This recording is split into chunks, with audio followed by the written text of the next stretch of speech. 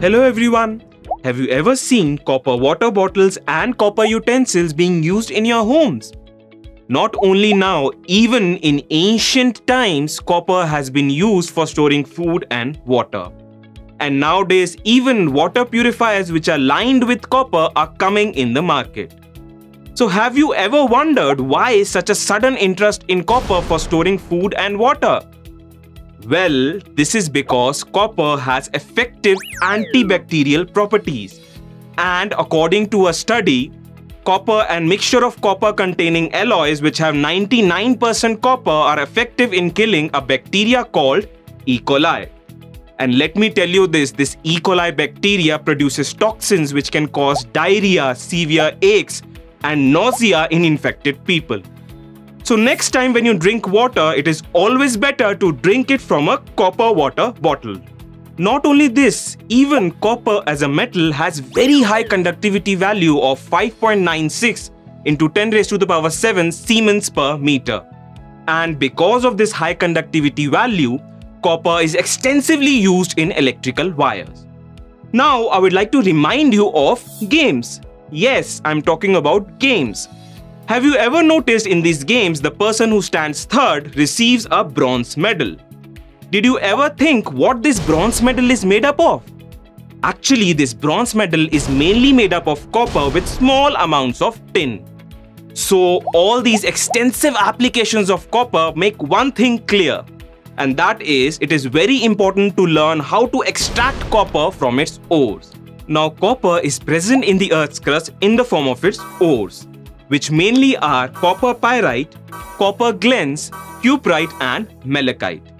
However, the principal or the most common ore of copper is copper pyrite and we will learn the extraction of copper only from copper pyrite in today's class. Actually, a small part of this extraction process you have already learned in previous classes. But still, let me remind you. Copper, when it is first mined from the Earth's crust in the form of its ore, is powdered and crushed and is concentrated by the process of froth flotation.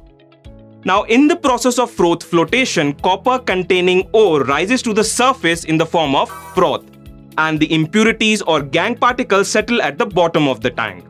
This froth can be skimmed off and pure copper ore can be recovered. Now, if you carefully observe this ore copper pyrite, you will notice that it is a sulfide ore. Therefore, from our previous knowledge, we know that sulfide ores have to be converted into their oxides because it is easier to reduce oxides as compared to sulfides.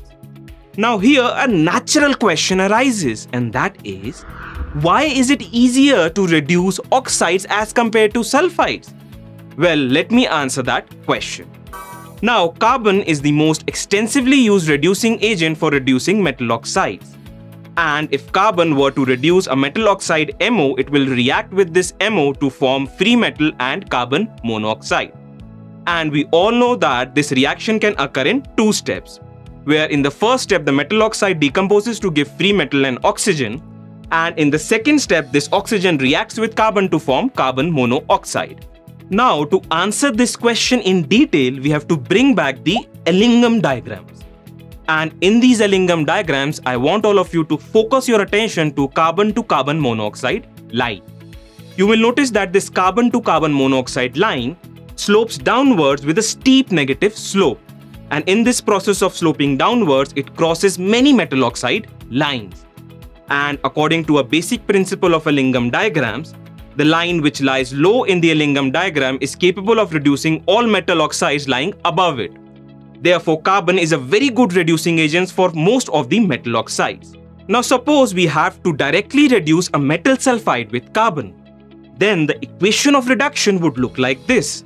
Here the metal sulfide reacts with carbon to give free metal plus CS.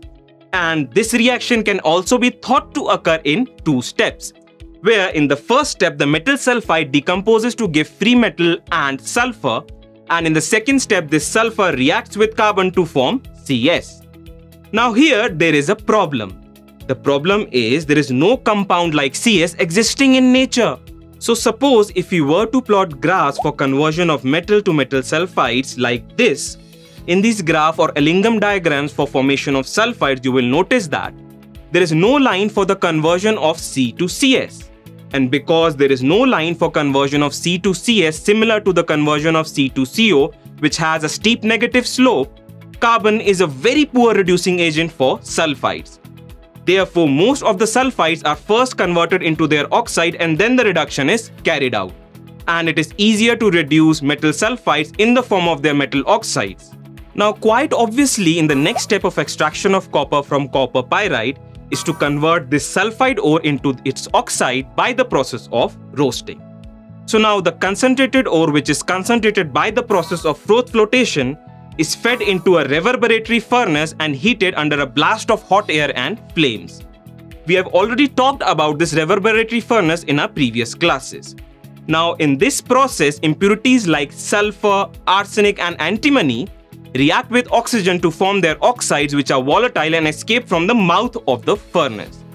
Now the main reaction occurring in this process is where the copper pyrite reacts with oxygen to form cuprous sulfide, ferrous sulfide and sulfur dioxide. However, do you remember what our aim was? Our aim was to convert this sulfide ore into its oxide, right? However, here we end up with again cuprous sulfide and ferrous sulfide. But don't worry, small amounts of cuprous sulfide and ferrous sulfide do react with oxygen to convert into their respective oxides. But these are just minor reactions. The major reaction is where copper pyrite reacts with oxygen to form cuprous sulfide and ferrous sulfide. So copper is mainly present in the form of its sulfide even after this step. Now, after this process of roasting, we are majorly left with cuprous sulfide ferrous sulfide and small amounts of ferrous oxide and cuprous oxide. Now this mixture is mixed with sand or silica which acts as flux along with coke and fed into a blast furnace. Now this blast furnace is quite similar to the blast furnace which was used in the extraction of iron and about which we have already studied in our previous classes. Now in this blast furnace, this mixture is heated under a blast of hot air and many reactions occur in this blast furnace. Majorly and quite obviously first, the cuprous sulfide and ferrous sulfide react with oxygen in order to convert into cuprous oxide and ferrous oxide.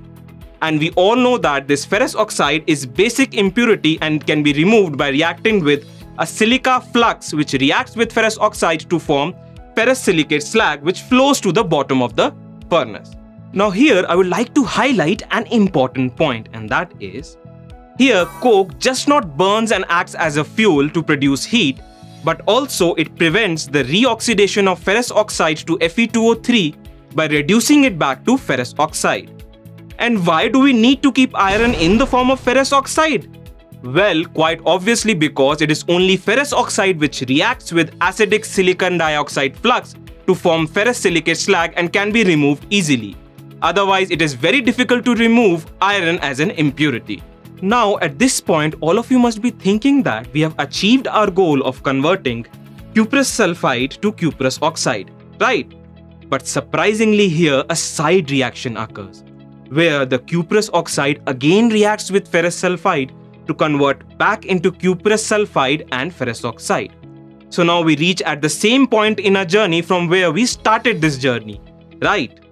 Now, do you know why this reaction actually occurs in the first place? Well, to answer this question, we have to discuss a principle which is called hard-soft acid-base principle.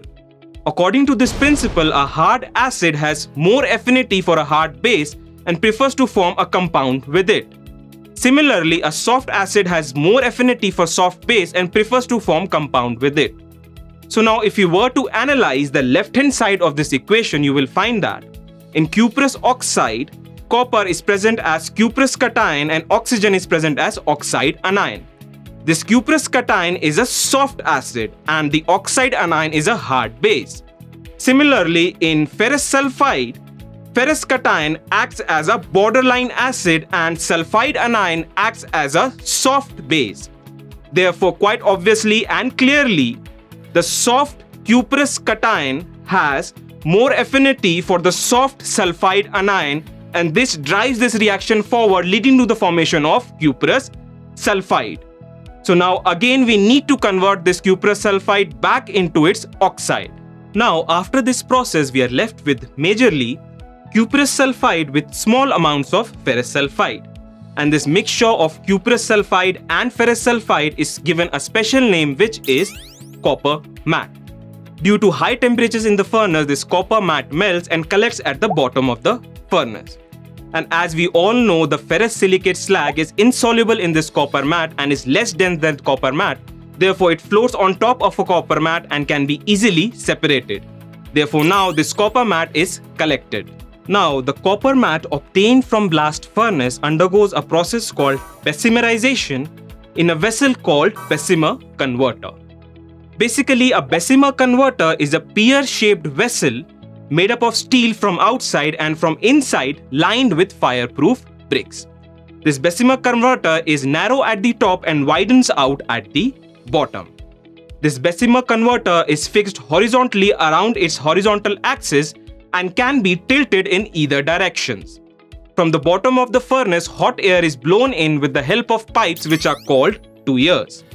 Now, copper matte is introduced into this Bessemer converter by keeping it in an upright position and this copper matte falls onto the bottom of the furnace. Now from the bottom of the furnace, hot air mixed with sand or silica, which obviously acts as flux, is blown in. With increase in temperature, any leftover impurities of sulfur, arsenic and antimony react with oxygen from the hot air blast to convert into their volatile oxides and these volatile oxides escape as gases from the top of the furnace. Now quite obviously the leftover ferrous sulfide reacts with oxygen from the blast of hot air to convert into ferrous oxide and this basic ferrous oxide again reacts with acidic flux silicon dioxide to form ferrous silicate slag which then flows to the bottom of the furnace. After most of the ferrous sulfide is consumed as ferrous silicate slag, cuprous sulfide also reacts with oxygen to convert into cuprous oxide and sulfur dioxide gas. Now, at this point, the most important reaction of this complete process occurs, where cuprous oxide reacts with cuprous sulfide in a self-reduction reaction leading to the formation of pure copper and releasing sulfur dioxide gas. Now, I would like to highlight this last reaction where only compounds of copper react with each other and reduce each other, releasing pure copper and sulfur dioxide gas. And it is because of this reaction there is no need to add any external reducing agent into this reaction. Now, let me bring out another important point about this extraction of copper. Have a careful look at this equation where copper metal is formed. Did you notice that along with copper metal here sulfur dioxide gas is also formed. And this sulfur dioxide gas gets trapped in molten metal that collects at the bottom of the converter. Next, this converter is tilted and molten copper flows out. And quite obviously the temperature outside converter is less than the temperature inside of the converter because it is way cooler outside, right? And because it is cooler outside, this molten copper tries to solidify. And as this molten copper solidifies, sulfur dioxide gas escapes from the surface of this molten copper. And as the sulfur dioxide gas escapes, it leaves behind small bubbles or blisters on the surface of this solid copper. In fact, this solid copper looks somewhat like this and exactly because of its blistered appearance, this solid copper is called blister copper. In fact, this blister copper is 98% pure along with 2% impurities. So, in today's class, we learned how to extract copper from its ore. And we did this extraction by heating copper ore in a reverberatory furnace, followed by a blast furnace and finally in a Bessemer converter. In the next class, we will apply similar principles of extraction to the extraction of zinc from its ore. But before we do that, let's do a quick recap of what we have learned today. Copper is present in the Earth's crust as its ores, namely copper glance, copper pyrite, cuprite and malachite. The principal or most common ore of copper is copper pyrite. When the ore is extracted from the Earth's crust, it is crushed and concentrated by the method of froth flotation. Here, the froth containing copper is separated from gangue impurities.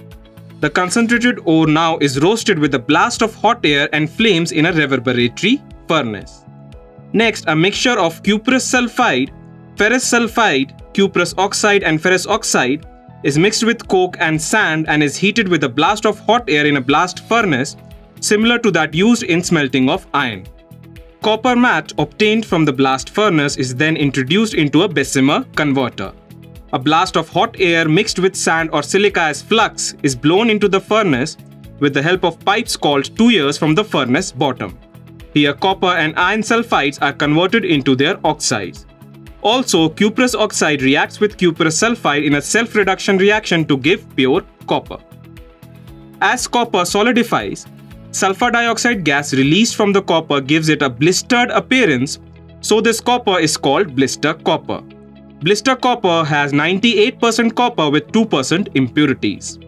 And finally, here is a quick flowchart of the extraction of copper that we have studied in this class.